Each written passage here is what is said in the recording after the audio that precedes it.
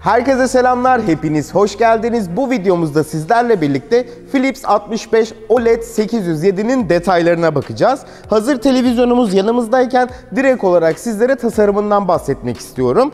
Tasarım olarak baktığımızda ince çerçevesiyle birlikte metal ayağı gayet oturma odamızda veya kullanacağımız herhangi bir alanda şıklık yaratacak vaziyette duruyor. Tasarımla birlikte şunu da eklemek istiyorum. Televizyonumuzda Ambilight özelliği var fakat bu televizyonda kullanılan Ambilight teknolojisi bildiğiniz üzere Philips'in Hue ışıklarında bulunan teknolojiyle, lambalarla birlikte yapılmış. Bu nedenle çok farklı bir Ambilight tecrübesi bizleri karşılıyor. Bunun haricinde şunu da belirtmek istiyorum. Ambilight teknolojisi televizyonumuzun dört çevresinde konumlandırılmış vaziyette. Sağ, sol ve yukarı aşağı kısımlarda Ambilight ışıklarını görebiliyoruz. Aynı zamanda şundan bahsetmek istiyorum. Özellikle birçoğumuzun hoşuna gidecek bir özellik olarak düşünüyorum bunu. Gördüğünüz gibi televizyonumuzu tek el hareketinizle sağa veya sola açılandırabiliyorsunuz. Bu da kullanım olarak bizlere büyük bir kolaylık sağlıyor. Tasarım tarafına değindik. Gelin birlikte biraz da teknik tarafa bakalım. Teknik tarafta sizlere en başta söyleyebileceğim şey televizyonumuzun 4K olması. Aynı zamanda bu 4K teknolojisinin yanı sıra 120 Hz'lik bir ekran yenileme oranına da sahip. Özellikle 120 Hz'lik ekran yenileme oranı konsol oyunları oynuyorsak veya çok fazla film izliyorsak, video izliyorsak gayet akıcı ve keyifli bir görüntü bizlere sunuyor. Tabi bu keyifli anları bize yansıtmasında en büyük rol oynayan şey OLED panele sahip olması. Aynı zamanda televizyonumuzun IMAX sertifikası var.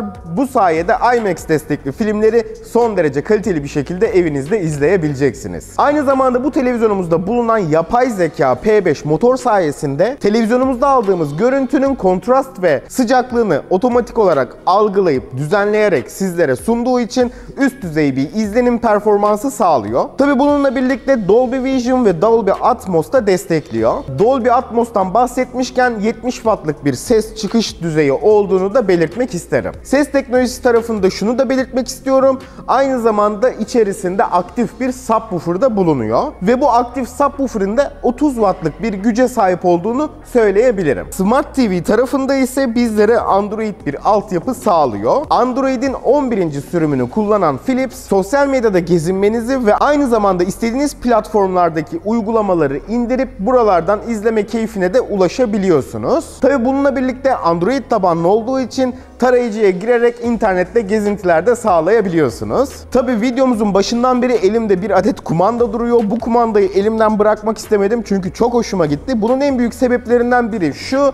Özellikle karanlıkta televizyon izliyorsanız ki özellikle zaten karanlıkta film izlemenin keyfi başka oluyor.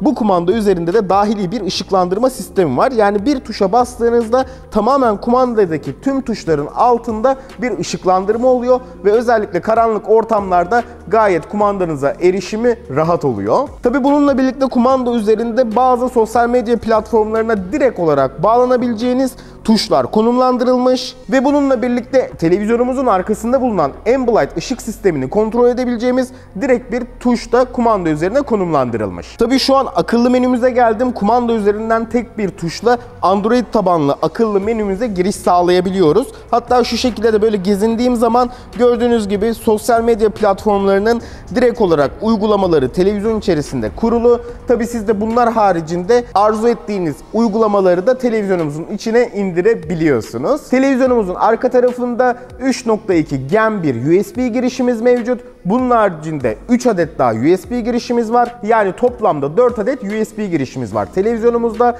Bununla birlikte 4 adet de HDMI 2.0 görüntü giriş portları konumlandırılmış. Televizyonumuzun hakkında anlatabileceklerim şu anlık bu kadar. Videoyu sonuna kadar izlediğiniz için çok teşekkür ederim.